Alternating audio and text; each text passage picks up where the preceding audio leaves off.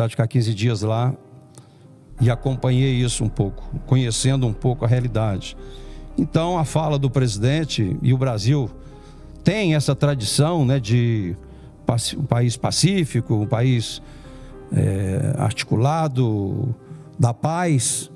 E essa fala do presidente é totalmente é, contrária a tudo que o Brasil fez, pelo menos nos últimos anos, com relação a isso. Inclusive a própria criação do Estado de Israel, o Brasil teve uma participação importante nesse processo.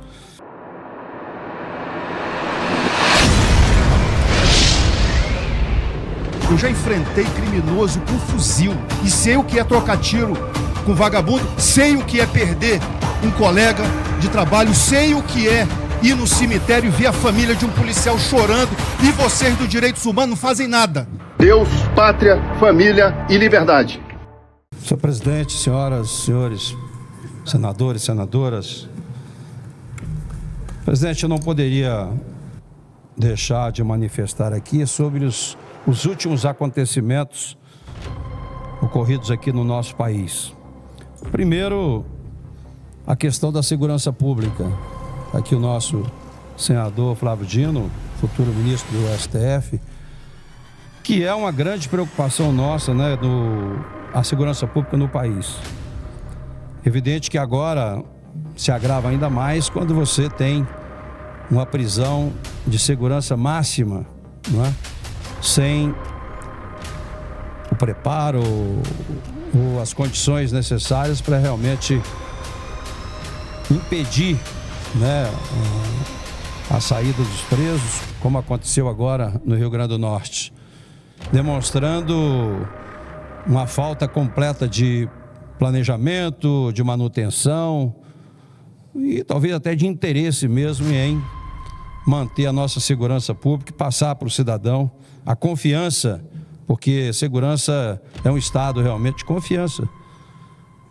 E nós estamos perdendo isso, a população está perdendo a confiança na segurança pública como segurança do cidadão, né? O que, o que o governo teria que garantir, o básico, é educação, saúde e segurança. E a gente vê as pessoas ficando em casa com medo de sair nas ruas, com medo do que está acontecendo ainda mais com essa posição que a gente nota de relativizar a questão da segurança. Principalmente quando o presidente fala, ah, é só um celular, né? mas é nas pequenas coisas que você realmente pode avaliar né, essa questão da confiança. Então, é triste ver realmente um presídio de segurança máxima, aconteceu o que aconteceu. Evidente que não tem, é impossível ah, esses bandidos que a gente viu as imagens é, destruir a cela, abrir um buraco numa, numa prisão de segurança máxima e ninguém notar isso, né? tirar a ferragem, fazer barulho, porque é impossível você fazer um buraco daquele tamanho sem realmente qualquer barulho. Então, a visita a olho nu, né, dá para você ver realmente o movimento. Então, tem que ser apurado mesmo para a gente ver quem está envolvido, né, com relação a isso.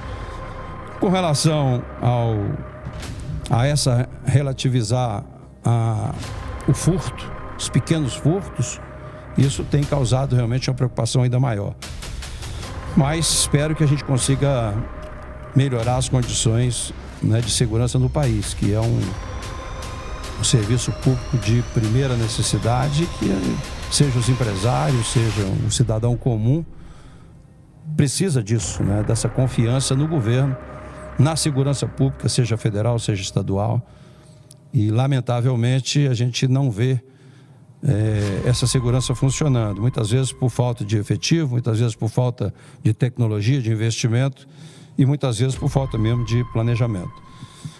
Outro assunto, presidente, que a gente também não poderia deixar de falar aqui foi realmente a fala né, inoportuna e que eu tenho certeza que não representa a fala do povo brasileiro, a fala do presidente com relação à comparação né, do Estado de Israel com a situação do Holocausto.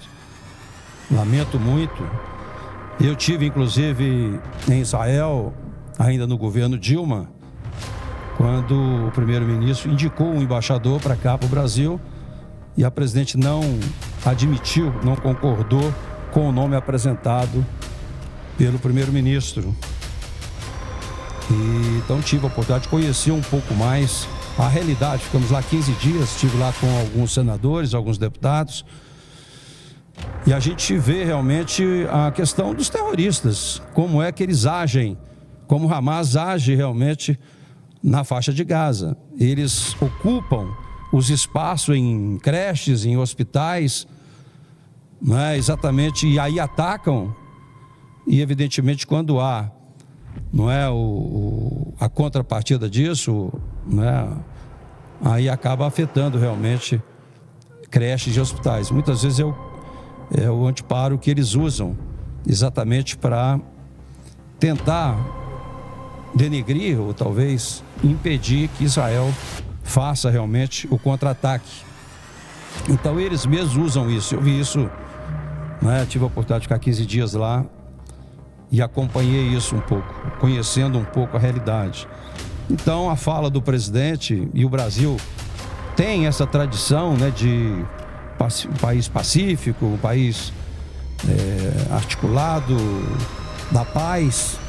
E essa fala do presidente é totalmente é, contrária a tudo que o Brasil fez, pelo menos nos últimos anos, com relação a isso. Inclusive a própria criação do Estado de Israel, o Brasil teve uma participação importante nesse processo. Então é muito ruim, né, quando se fala de improviso e muitas vezes fala aquilo que não é realmente o pensamento maior da, da população brasileira. Eu acho que nós já temos problemas demais para enfrentarmos aqui no, no país e não ficarmos aí criando mais problemas ou até indisposição com outros países. E muitas vezes falando de temas e que outros assuntos importantes sequer se fala. Então, demonstra claramente que o país tem uma posição e dá a entender realmente que tudo que é contra os Estados Unidos, o, o Brasil apoia. É o que a gente percebe claramente com as posições que o governo vem tomando. Bem, então voltando ao carnaval desse país, né, como sempre foi falado, né, tudo começa depois do carnaval. Nós temos aí uma pauta imensa para ser trabalhada aqui no Congresso. Espero que a gente possa avançar nesses temas importantes. Eu espero que a gente possa aqui de fato retomar as discussões da implementação do novo ensino médio, que o governo, quando assumiu imediatamente, já propôs uma mudança sem sequer implantar aquilo que estava planejado, porque o novo ensino médio eu tive o privilégio de presidir a comissão e agora que seria para ser implantado, porque é uma atribuição do governo estadual, o governo fala numa nova mudança do novo ensino médio. E a gente percebe claramente em todos os lugares desse país né, que os nossos jovens não estão sendo preparados para o mercado de trabalho. As empresas, todas elas, de todos os ramos, de todas as atividades, sentem a necessidade de qualificação profissional. É incrível como o Brasil ainda não alcançou um percentual razoável em termos de formação do ensino médio, de cursos de capacitação profissional. Não chegamos a 10%. Os países hoje desenvolvidos estão na faixa de 50%, 60% dos jovens fazem curso técnico. Agora, um curso técnico compatível com aquilo que o mercado está precisando. Não adianta, como muitos fazem aqui, né, formam mão de obra que o mercado não está precisando. E aí ficam os jovens também mesmo fazendo um curso superior, que a maioria, a maioria não, apenas 18% nosso, dos nossos jovens conseguem entrar na universidade, né, no curso superior. Mas mesmo assim, o governo continua financiando muitos cursos que não têm não é, a, a necessidade, vamos dizer assim, que o mercado exige.